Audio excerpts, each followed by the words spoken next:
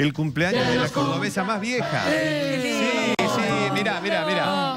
105. Sí, señor, ahí está. Vamos a festejar, lagarto, ahí está. Mirá. Vamos, Mirá. servir un poquito de sidra y ananafis, en realidad. Ah, muy bien. Ahí está, muy bien. Mira qué Ahí está. contenta. Muy bien. Fe- feliz cumpleaños, Elena. Elena Eva San Martín mañana cumple los 105 Muy años. bien. Eh, Lagarto y nosotros vinimos hoy porque, bueno, mañana no tenemos programa, claro está.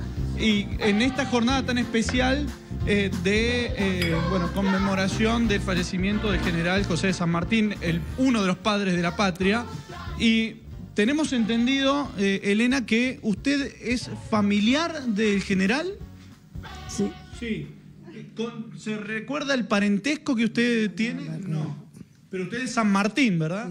San Martín. Bien. Eh. ¿Dónde pasó usted su niñez? Su niñez, ¿dónde pasó, eh, dónde pasó su ¿En niñez? Sí. En el campo. En el campo. ¿Dónde? ¿Aquí en Córdoba? No, en Agua la Piedra. Bien. En Córdoba, sí. En Córdoba. En Córdoba. Bien. Y ellas dos son sus hijas. ¿Mm? Ellas dos son sus hijas, Eva y Estela Mari. Sí. Y tengo el varón, Tiene un varón también. Eduardo. Bueno, muy El bien. cumpleaños 105, eh, Elena, este, ¿qué sentimientos eh, le pasan a usted por estos días? No sé, estoy me- medio tristada porque el Eduardo no ha venido Ya va a venir, capaz. y no sé por qué no viene.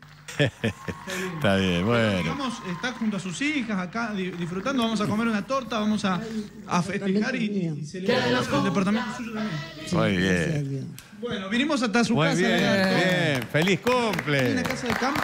Sí, campo. Que Claro. sople las ¿Le velitas. parece que brindemos? Sí, ¿Le brindemos, parece? 105. Brindemos.